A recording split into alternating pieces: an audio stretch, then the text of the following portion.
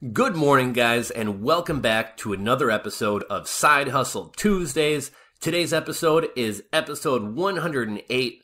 For those of you guys who are new to the channel or new to this series, Side Hustle Tuesdays is a series we used to do here where we would tell the story of an entrepreneur with a side hustle they started outside of their 9 to 5 job with little to no money and with skills they either had or quickly acquired. The goal of these stories is to give you inspiration as well as ideas for launching side hustles of your own. This is a series we did a few years back, but at one point had stopped, and last week we brought it back for the first time in a long time and featured the business GetABrik, which you can find at getabrik.com, B-R-I-K.com, in episode 107. GetABrik is a business which found a unique way to sell knives by packaging them in bricks of concrete and gamifying the sale by having it be somewhat of a mystery which knife you're going to get, as well as essentially giving you a lottery ticket inside, which you could enter a code and have a chance of winning an expensive handmade craftsman knife. If you haven't seen that episode, check it out. Link in the description box below, as well as a link to our Side Hustle Tuesday playlist where you can catch up and watch all the previous episodes. In today's story, we're going to be talking about an Irishman named John who, after three failed attempts at dropshipping, managed to find success on his third try. As they say, the third time's a charm. John's dropshipping business is now bringing in over $25,000 a month, more than he ever could have dreamed of. Today's story is about John Murphy. John is an Irishman married to an Italian woman, and her job kept them moving all around Italy, which left John constantly having to find new jobs each time they moved. With the job market not being great, John asked his boss for permission to work remotely following his and his wife's next move, and his boss agreed. After working from home for a while, John quickly realized he could never again go back to an office. This inspired John to learn some additional skills to be able to work on his own terms and to be able to work remotely forever. After a bit of research, John settled on the hustle or the business of dropshipping. I assume most of you guys know what dropshipping is, but dropshipping is a fulfillment model in which a marketer or e-commerce seller partners with a manufacturer or another company whose products they can sell. This means they set up a store and market the store's products, but their dropshipping partner or manufacturer uh, manufactures the product, holds inventory, and ships the product out for them. John initially did a little bit of research online and began with AliExpress dropshipping. His first attempt was a general store selling everything under the sun, and after a month, John found that he had spent $300 on advertising but had only made $50 in sales, netting him a $250 loss. John then set out on his second attempt. This time he began a prepping and survival store, uh, selling things like fire starters, emergency blankets, and water filters.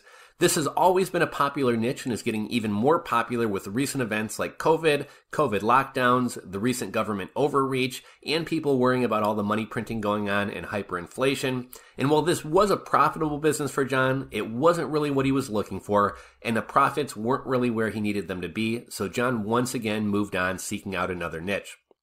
John began by creating a list of 100 random products and slowly began eliminating them one by one by looking at criteria like weight, competition. He wanted some competition to prove the concept, but not so much competition that he wouldn't be able to make sales.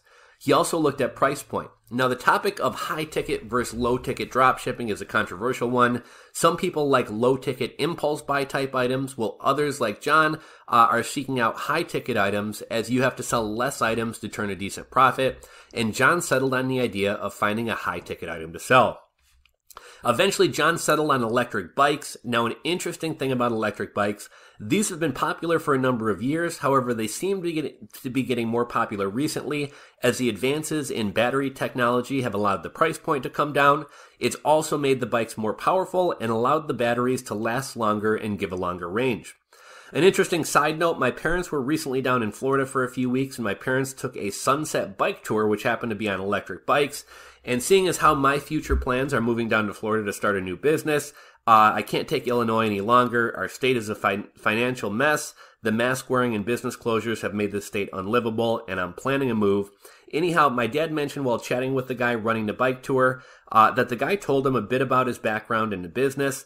The guy was either in his late 20s or early 30s. He had graduated from culinary school and begun climbing the ladder in his career as a chef but he found he was working 80 to 100 hour weeks and was burnt out, so he ultimately wound up quitting his job and moving down to Sarasota, Florida, and he began renting electric bikes as well as doing sunset bike tours for tourists. He's doing something he loves. He's having a lot of success and making a good income and enjoying life a lot more. I'm hoping to connect with this guy for a future episode of Side Hustle Tuesdays. Uh, I realize this is a bit off topic, but it is on the topic of e-bikes. Anyhow, back to John's story. John realized by selling e-bikes, he would only have to sell two to four bikes a month to actually turn a decent side income of a couple thousand dollars, as opposed to have, having to sell hundreds or even thousands of random widgets or lower priced items. A few months in, John had made a few sales, but things hadn't really taken off, and he was starting to give up hope. It was around this time that John learned that a leader in the space was quitting his job and shut, or quitting his business and shutting down his e-bike store. John set up a call with the man and picked his brain and learned a number of helpful tips. I think this is a good thing to touch on briefly as well. In last week's story of GetABrik, the guys had mentioned how surprised they were and how willing people were to help you out when you asked for help and to provide some insights. Anyhow, two things John took away from this conversation were trust and social proof and how important they were. John took this tip and tweaked his website. One thing he did was add one of those pop ups that say, you know, Jim from Chicago just bought an e bike. Well, as marketers, we know these are fake and they seem cheesy. They do seem to work, and this provides both social proof and trust. John did a lot more than this, however. If you look at John's website, it's not a one page website.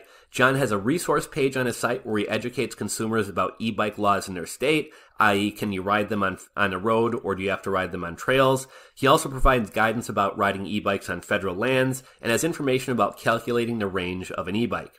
He has also put together an About Us page. He has an 800 number and actually offers customer service. He offers a generous return policy and even has a page on his website called Why Should You Trust Us, where he lays out why you should trust him as a company and and lays out such things as that the site is safe and secure, customer service is a high priority, they have the lowest pricing and a price match guarantee, and they insure their shipments. Another th- clever thing John did is offer financing through Klarna. For anyone who sells high ticket items, uh, or even really any items, if you already aren't doing financing, look into services like Sezzle, Klarna, and others. You'll be amazed by how many people will finance even cheap items, but especially with high ticket items like John's, this is even more helpful to customers as not everybody has a thousand, fifteen hundred, two thousand dollars to lay out uh, on a purchase at once. This business was launched back in late 2017, but today John is making upwards of $25,000 a month. I think there's a lot of good takeaways from John's story. First off, you likely won't succeed on your first attempt. It took John three attempts, and after each one, he learned something along the way that helped him on his next. I think it's also important to note that John didn't take the short term approach of finding a winning product and riding that. John built an actual business and took the time to build trust among his customers and future customers. Overall, John has done a bang up job, and I think there's a lot we can learn from his story. I hope you guys enjoyed today's episode of Side Hustle Tuesdays. I'll link to John's store down below, along with last week's episode of GetABrik and the Side Hustle Tuesdays playlist if you'd like to watch some previous episodes.